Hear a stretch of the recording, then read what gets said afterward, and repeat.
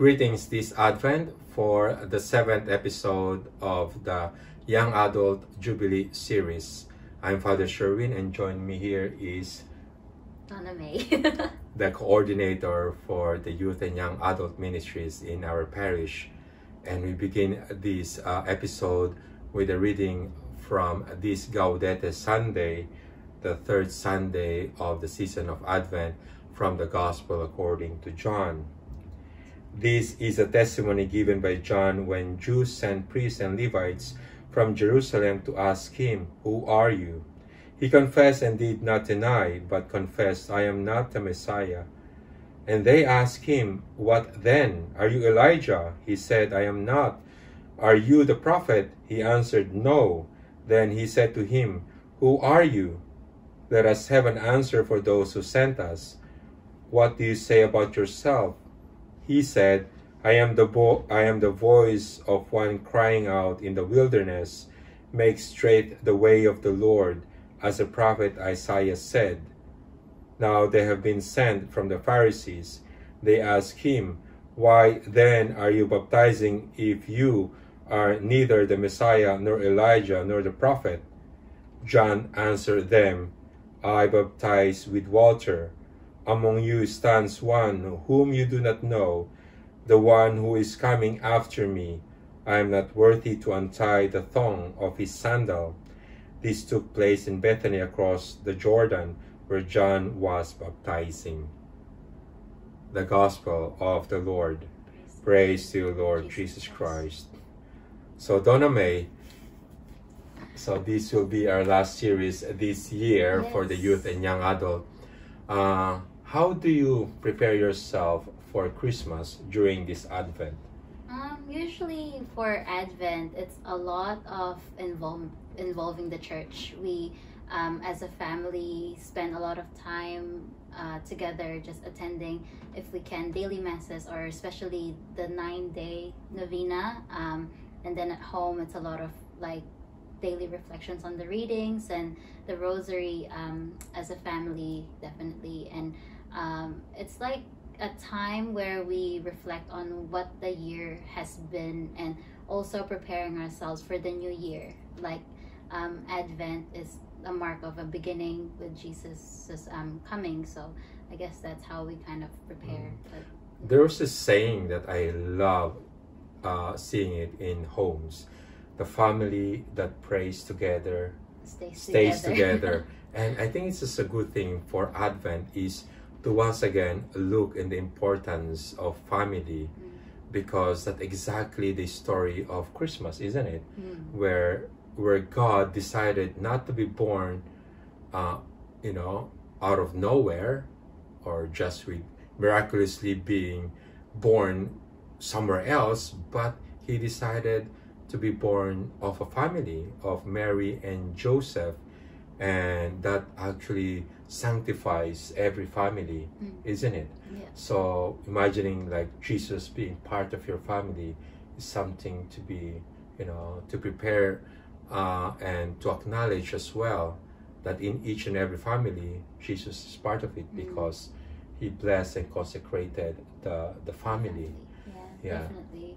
Yeah, and of course, um, Jesus is a huge part of the family, especially in mine. Um, he is the center of everything that we do, and of course, with him coming with Christmas and um, around the corner and everything like that, uh, the decorations are up at home, and the most um, decoration that we put um, effect into is the nativity um, Mm. set that we have and it's quite nice because the baby Jesus will be there on the 25th. Yes, and and and I think this is also important for for all those young people out there, especially also the young adult, is the importance of family, because everything begins and ends in a family. Like uh, vocation starts in a family, and also it's nurtured and and and sustained through the family, isn't it? And also, my experience is when ministering to people who are dying is normally families around that uh, that person who are passing through the next life to always gather there and and be as a family to give farewell to the person. So the importance really of growing in a family. But the question is, how do we, how do we sanctify and and and, and put holiness to families? Because we also have to accept that there are many broken families out there, or not even uh, you know a family to be called or, or to be acknowledged with. But how do we sanctify relationships in family? Mm, well, for me, I guess I can only base it on um, my family, and for us, uh, the key thing for our relationship is communication. It's um, being open to one another if there's any issues within the family or even outside, whatever we're experiencing. It's about talking it out um, with all of them, and then in the end, like bringing prayer into it and bringing God once again as a center to heal anything that's happened or to give guidance and i guess um, also knowing the role of everyone in the Mm. family so i'm the middle child and um, i see myself as someone who uh, understands my brother um, the older one and then um, who will guide my younger sister and um, you know I really thought the middle child is a problematic one. Oh well. oh, could be. I don't know. You could ask my parents that. um, but definitely, um, I think having the role of a middle child is quite um, in- interesting in a way because you don't know where you kind of put yourself in. Like you have to be mature for your sister to look up to you, but also you know you want to be like young because you have an older brother that should be doing the um, responsibilities before you, sort of thing. But um, yeah, I enjoy the position I have in my Mm. family, and I see my parents. Um, their love for us is equal, regardless of our age and where we are. And I guess um, that's what I'm really thankful for for them. That all their decisions and stuff like that is um, for our own good, and I know Mm. that they always pray um, for for those. Um, I like when you mention about relationship because not every family uh, is by blood. It could be family because of the relationship that they develop Mm. uh, through one another, and and I think that that's uh, what makes a family is that not just blood, but also the relationship that you build through time and the connection that you have with a person. Mm. because anyone can be a family to you as long as you have a deep set a deep connection that respect uh, that uh, mutual uh, Understanding. understanding and also the love and care that emanates uh, through and among the members of uh, that family. Uh, and it's, it's it's good thing nowadays because uh, sometimes you know you you are far away from from home Yeah. from your family and you felt like you're so isolated out here in New Zealand for example or wherever you may be and said oh my family is all back there but thanks to COVID I cannot be with them uh, and I'm just alone and then suddenly you find family and solace with your Yeah. with your friends and also with your uh, your workmates or your or even your distant re- relations Yeah. and you become family so i think that's a good thing about being christian is that regardless of where you may find yourself with Mm. if you found a church that is now your family Yeah, definitely. I think, um, like you said, us being in, uh, being migrants in New Zealand, we left our families back home in the Philippines, and we literally uh, settled here with just family friends to look after us, and then eventually finding St. Mark's as our home parish, and that's how we developed our, um, you know, our family and relatives here in New Zealand. They um, were the ones that we celebrated all our um, achievements, all the um, special occasions, the Christmas and Lent, and I can say that um, they're almost like blood relations to me, like the um, the brothers and sisters that I have found, not just you know my immediate brothers and sisters, but them as well as um, family now because of the church, because of the Mhm. bond that we shared, um, and that's also central to um, Jesus, like the youth ministry. I grew up um, in the Youth for Christ, and um, that has a big family ministry. And I'd say all the um, boys and girls that I grew up with, I'm still close with now, and they're my family as well. And we celebrate each other's ups and downs. And Mm. yeah, and remember that even the first family the holy family is not a perfect family by any standards but even by today's standards you know Mary and Joseph, they were just being engaged, and then Mary was found pregnant. And we, we know this story that Joseph was thinking of walking away, and you know, but not you know silently going to divorce Mary. But the angel, you know, won over Joseph, and Joseph thought, hmm, maybe this is an opportunity for me rather than a disappointment that I'll be part of something bigger than myself, bigger than just my Mm. relationship with Mary. Now that I'll become uh, a father to the Son of God, isn't that great? Isn't that something that I'm I, is- I'm being part of? And I will not let this opportunity pass by. So he took Mary uh, into his home, and that's how they built a family. So you see that you know if, if we look opportunities beyond the difficulties, beyond the doubts that we have, beyond the fears that we have uh, in our families or in what we're, we're going through, especially this time, we always can be inspired through the story of the the Holy Family. And remember also Jesus, you know, even rejecting and running away from uh, from his parents and went back to Jerusalem. And when they eventually That's found true. him, like Mary was saying, "What? Why do you have to do this one with me and your father?" And said, probably in front of Joseph, like, "Don't you know that I'm supposed to be in my father's house?" Yeah. I mean, if I would be Joseph, like, what did you just say? Yeah. but you know, I think this is Mary and Joseph learning that they don't own Jesus. Mm. That Jesus has to be Jesus. Put it that Mhm. way. That he needs to he needs to be out there.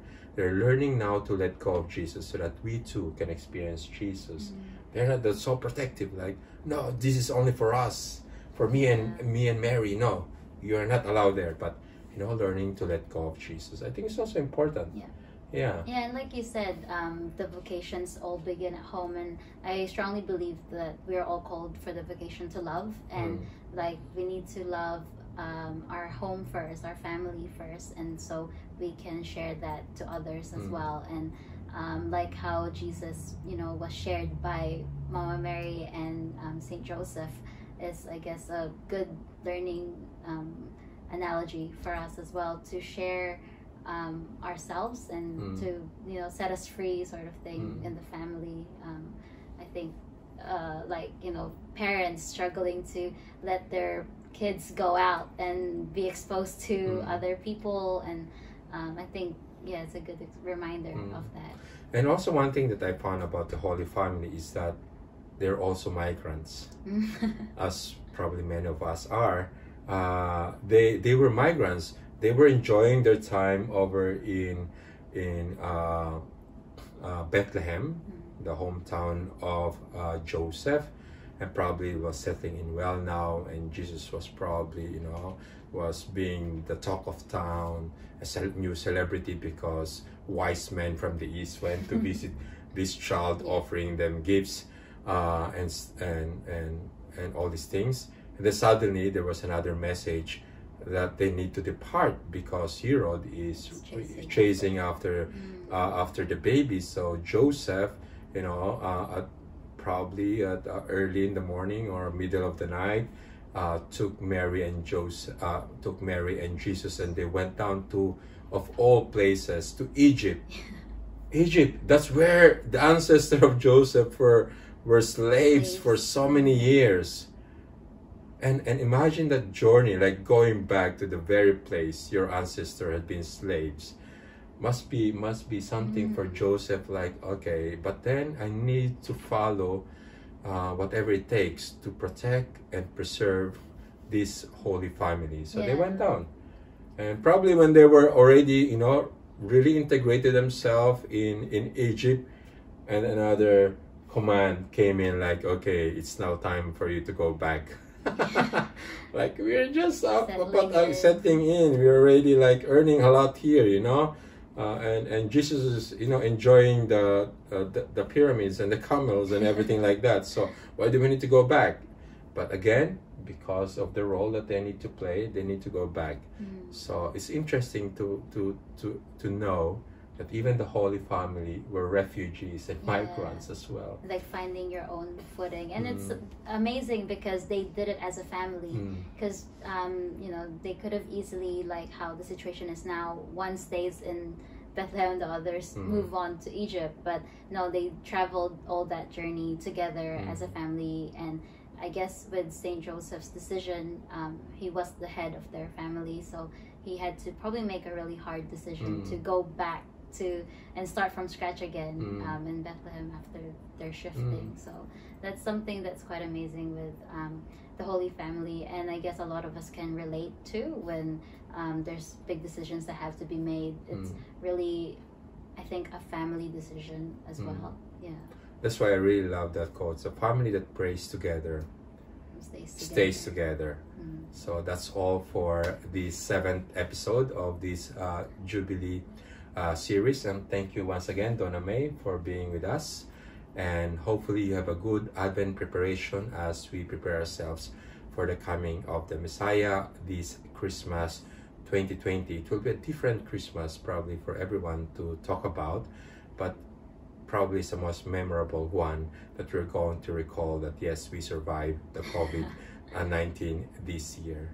Have a blessed Advent journey, and we'll see you around Christmas time. Oh, before we um, Oh. finish off the series, um, like Father mentioned in the beginning, this is the final Young Adults Jubilee series that we'll be putting out. And of course, we want to say thank you to Father Sherwin for um, going through all the episodes uh, with us and giving us all the pastoral teachings and learnings. And also, we want to extend our thanks to Ryan from the Holy Cross Seminary and Joseph from the Maris Seminary for joining us as well. And not to mention Alice Sung, who's Oh always yes, behind. and lastly, Alice, thank you so much for being behind uh, The camera. camera and doing the editings. And we couldn't have done it without everyone's support. And we're really looking forward to um, what the podcast will develop into in the future for the parish. So yeah, thank you so much again for everyone who tuned in as well and who gave feedback. And it really touches our heart to know that